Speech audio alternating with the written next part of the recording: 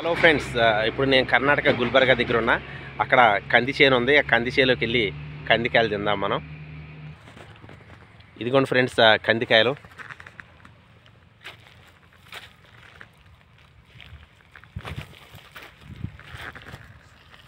కంది తోట మీరు చూస్తున్నారు.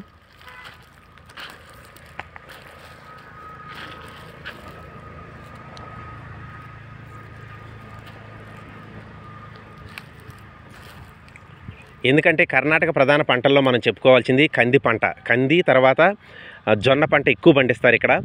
తర్వాత కుసుమలు పండిస్తారు. తర్వాత ఇంకా మనం చూసినట్లయితే పల్లీలు పండిస్తారు. ఈ విధమైనటువంటి రకరకాల వాణిజ్య పంటలు ఇక్కడ పండిస్తూ ఉంటారు. ఇప్పుడు పర్ఫెక్ట్గా సీజన్లో వచ్చినటువంటి పంట ఏదన్నా ఉందంటే అది కంది పంటే. ఇలా మీరు ఎప్పుడైనా కందికాయలు తిన్నారా?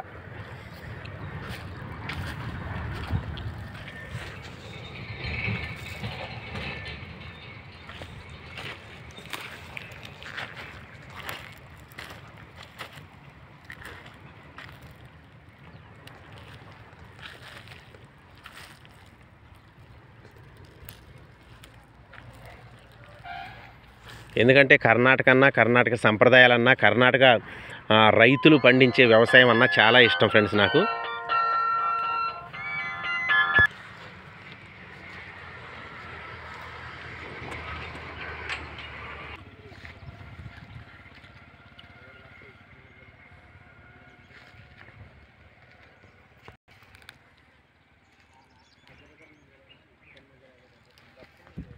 చాలా బాగున్నాయి ఫ్రెండ్స్. ఈ కందికాయలని ఉడకబెట్టుకొని తింటే ఇంకా చాలా టేస్ట్గా ఉంటాయి.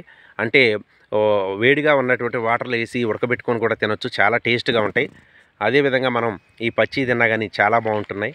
తర్వాత మనం చూసినట్టయితే అప్పుడే ఎండుతూ ఉన్నటువంటి పూర్తిగా తయారవుతున్నటువంటి కందికాయలను కూడా కాల్చుకొని కూడా తింటే చాలా టేస్ట్ ఉంటాయి. మీరు తినుంటే కామెంట్లో తెలియజేయండి.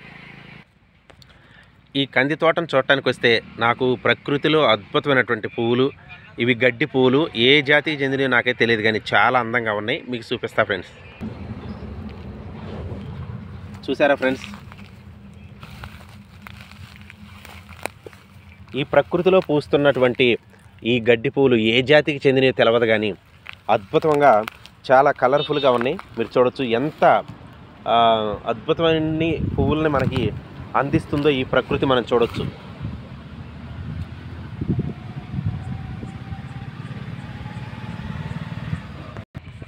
ప్రకృతి అనేది సహజసిద్ధంగా ఎన్నో మొక్కల్ని మరి తన ఒడిలో పెంచుకుంటూ మరి అందరినీ ఆకర్షిస్తూ అద్భుతమైనటువంటి లొకేషన్ని క్రియేట్ చేస్తుంది ఈ ప్రకృతి అనేది. ప్రకృతిలో పెరుగుతున్నటువంటి చెట్లు కావచ్చు ప్రకృతిలో పెరుగుతున్నటువంటి అందమైనటువంటి పూల మొక్కలు కావచ్చు అనేక రకాలైనటువంటి మొక్కలు కావచ్చు.